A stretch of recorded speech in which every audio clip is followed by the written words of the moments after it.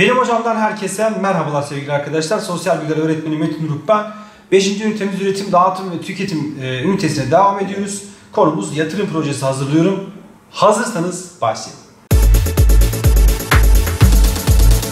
Evet arkadaşlar ülkemizin doğal ve beşeri kaynakları zengin bir yapıya sahip.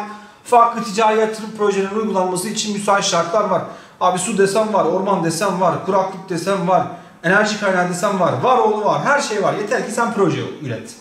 Şimdi ülkemizde iklim, bitki örtüsü ve yeraltı kaynakları çeşitlilik gösterdiği için e, daha önce bahsettiğim gibi yatırım yapılabilecek alanlar e, fazla arkadaşlar. Örneğin yeraltı kaynaklarının bol olduğu yerlere madencilik, ormanlık alanların bol olduğu yerlere ormancılık, mobilya ve kağıt sanayi, ulaşım ve pazarlamanın geliştiği yerlere sanayi ve ticaret, yazların sıcak ve uzun olduğu yerlere turizm ve güneş enerjisi üretimi, çayır ve meraların bol olduğu yerlere hayvancılık alanlarına yönelik yatırım projeleri yapılabilir arkadaşlar. Yani bir yere e, bir yerde ham madde kaynağın yoksa, işleteceğin ürüne yakın değilse o ya o alana yönelik bir yatırım projesi yapamazsın. Bu da ne yapar?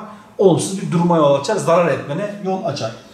Yatırım projesi hazırlarken sırasıyla ne yapmanız lazım? 1. Projenin adı, 2. Projenin amacı, 3. Projenin avantajları ve gerekli koşullar, 4. E, projeyi uygulayabilmek için yapılması gerekenler ve yatırım önerileri hazırlanmalıdır. Ondan sonra da zaten uygulama aşamasına geçiş yapıyorsun arkadaşlar. Tabii e, şunu belirteyim yatırım projeleriyle ilgili. Şimdi bu örnek kısmı çok önemli bizim için. Ee, güneş enerjisi santrali kurmak isteyen Mehmet Bey aşağıdaki bölgelerden hangisini tercih ederse daha uygun olur? Akdeniz bölgesi niye? Çünkü güneşleme süresi yüksek. Et entegre tesisi kurmak isteyen Tekin Bey e, aşağıdaki bölgelerden ya da şehirlerden hangisini tercih etmelidir? Mesela Erzurum ve çevresinde büyükbaş hayvancılık yapılıyor. Değil mi? Ondan sonra e, yani bu gibi özelliklere dikkat etmemiz lazım. Mesela kümes hayvancılığı yapmak isteyen Ayşe Hanım aşağıdaki e, bölgelerden hangisini tercih etmesi lazım? Ege bölgesinin büyük şehirlerine yakın yerlerini ya da İstanbul'a yakın bir bölgede kurmalıdır. Çünkü tüketici nüfusa ihtiyaç var. Dolayısıyla arkadaşlar yatırım projesi yaparken e, sırasıyla bu aşamaları uygulamamız lazım. E, ve buna yönelik yatırım projelerimizi hazırlamamız gerekiyor. Evet, vergilerle aydınlık yarınlara e, kamu hizmetlerine hizmetlerinde harcanmak üzere devletin yerel yönetimlerin yasalara göre doğrudan ya da dolaylı yoldan yurttaşlarından topladığı paraya ne diyoruz? Vergi diyoruz.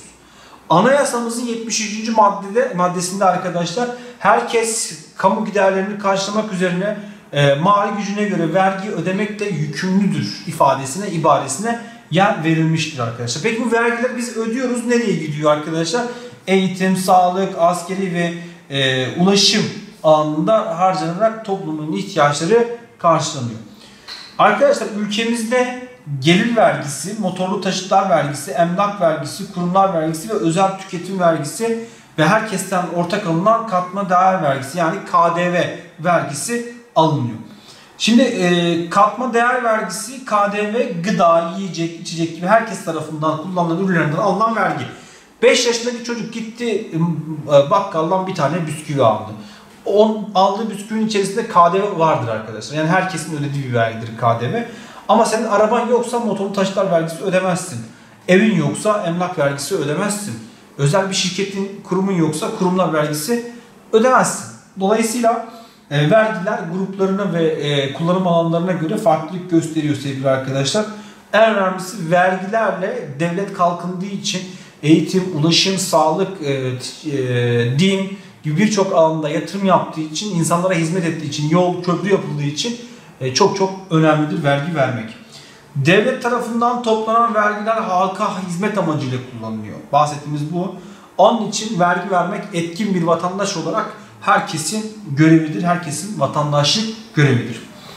Arkadaşlar e, vergilerimizi ödemek haricinde yaptığımız alışverişlerde fiş ve fatura almak da e, sorumluluklarımız arasında yer alıyor. Çünkü fiş ve fatura alırsak e, o fi, satın aldığımız e, firma devlete vergi ödemek zorunda kalıyor. Fiş ve fatura almadığımız zaman onu satılmamış gibi gösterip vergi ödemiyor ve haksız kazanç elde ediyor.